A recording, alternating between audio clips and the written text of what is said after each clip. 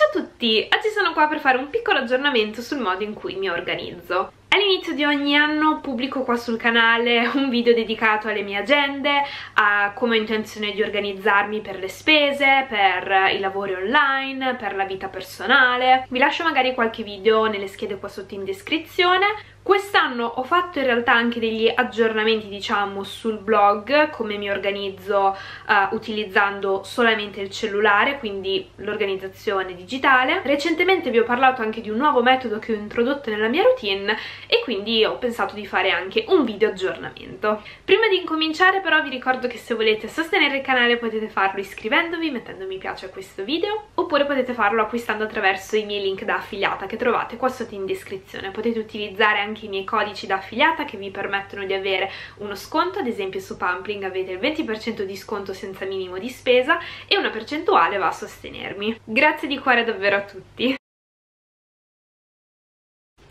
2020 si era aperto per me di nuovo con l'organizzazione bullet journal. Che devo essere sincera durante il periodo lockdown ho abbastanza abbandonato. Sto continuando in realtà a periodi alterni a utilizzare l'agenda fisica ma la utilizzo più come uh, valvola di sfogo per appunto decorare, disegnare ho molto bisogno spesso di uh, sfogare la mia creatività manualmente, quindi lavorando all'uncinetto, mettendo a posto casa, cucinando, oppure attraverso appunto l'agenda. Lo utilizzo principalmente per impegni, idee riguardanti la sfera personale. A volte se ho delle idee per un progetto le metto giù su carta, soprattutto se magari devo disegnare. Disegnare adesso è una parolona, però fare giusto degli schizzi quindi diciamo che da principale mezzo di organizzazione è diventato in realtà un po' una spalla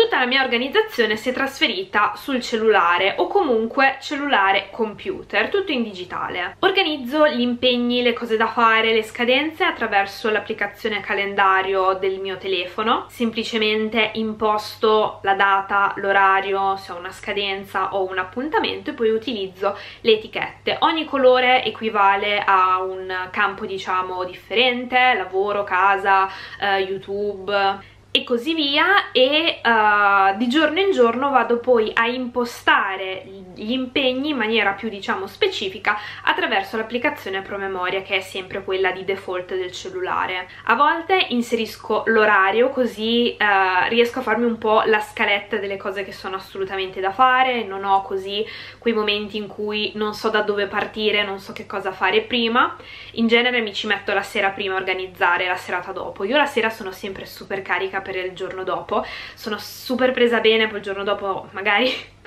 non così tanto però la sera prima sì e quindi è quello il momento in cui tendo a organizzare il giorno successivo. Quindi che so devo fare un dolce so che deve stare 40 minuti in forno in quei 40 minuti magari posso mandare la lavatrice oppure posso filmare un video oppure posso andare a fare questa commissione oppure posso andare a fare la spesa. Cerco di incastrare in questo modo tutti i vari impegni cose da fare in modo da non avere grandi momenti di vuoto. Preferisco infatti togliermi le cose da fare e poi riposarmi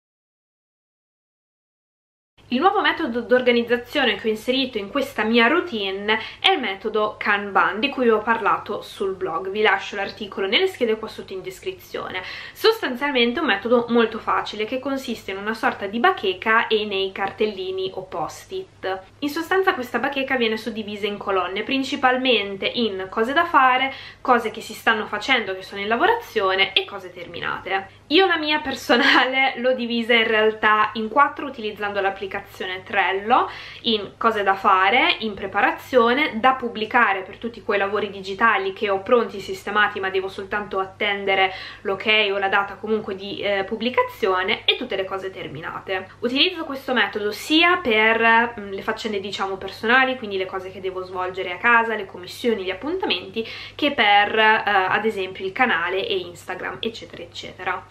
L'applicazione che utilizzo, Trello, la trovo molto molto carina. Uh, innanzitutto è molto più facile rispetto ad avere, secondo me, almeno per come sono fatta io, una bacheca fisica e dei post-it da spostare fisicamente. Risparmio sulla carta. Um, posso spostare appunto le varie schede che sarebbero questi cartellini con quello che c'è da fare. Inoltre ogni scheda si può aprire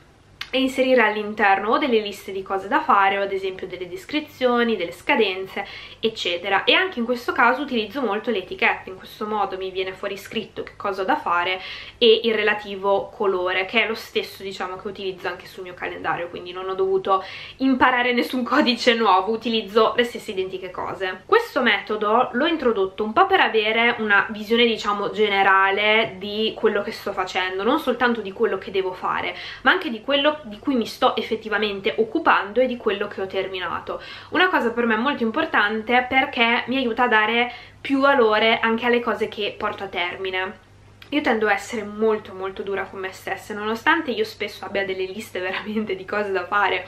assurde, anche se riesco a portarle a termine non sono soddisfatta. In questo modo ho visibile tutte le cose che sono riuscita a fare quindi riesco a essere un po' più clemente con me stessa, brava Donatella, ce l'hai fatta! In questo modo so però anche gestire meglio i lavori che uh, non posso iniziare e finire immediatamente. Banalmente, faccio un esempio magari eh, riferito a YouTube visto che siamo su questa piattaforma, quando mi metto a registrare soprattutto i videoblog cerco di segnarmi le clip che vorrei inserire, quelle che mancano, la musica, l'intro, eh, esporto poi sempre la sigla o intro del video eh, per poterla pubblicare anche su Instagram, devo editare la miniatura, quindi cerco di segnarmi tutte queste piccole cose in modo che poi la mia scheda impostata nella colonna colonna in lavorazione io abbia un po' l'andamento generale delle cose che ho già fatto e di quelle che appunto devo ancora fare. Può essere utile anche quando ad esempio si organizza, io preferisco dividermi in giornate il lavoro, ad esempio se devo riorganizzare, è capitato recentemente di riorganizzare la cabina armadio, mi sono un po' data, non delle scadenze, ma ho diviso il lavoro a blocchi e quindi anche per diciamo i lavori, i progetti, le cose personali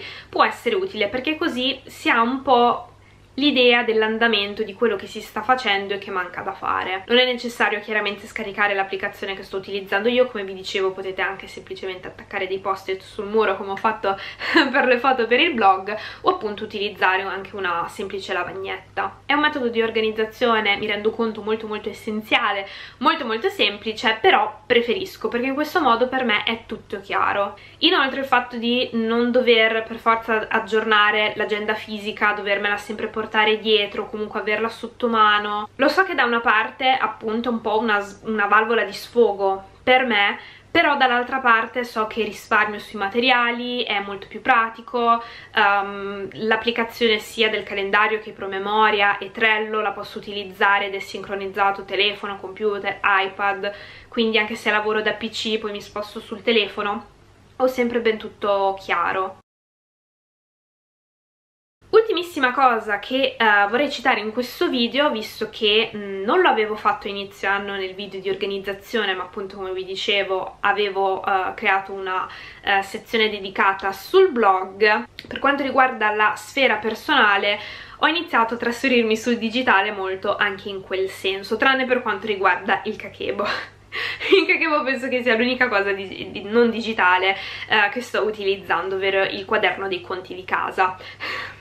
è doloroso scrivere quanto si spende, quanto rimane, però è una cosa secondo me necessaria perché concretizza veramente molto e aiuta a porsi degli obiettivi. Comunque a parte questo um, sto utilizzando un'applicazione molto interessante per il cellulare uh, per fare ad esempio la spesa che trovo molto utile perché posso condividerla ad esempio con mio marito. In questo modo se uno dei due capita che ha occasione di fare la spesa almeno ha già la lista sul telefono e è una lista che noi aggiorniamo eh, ogni volta che magari eh, finisce qualcosa in casa, che sia ad esempio la carta igienica, la carta da forno, le lenticchie, la pasta. Ovviamente prima di fare la lista finale vera e propria tendo sempre a fare una sorta di menu settimanale. Uh, io ho una lavagnetta magnetica che attacco banalmente al frigo, poi ci scrivo insomma le mie idee.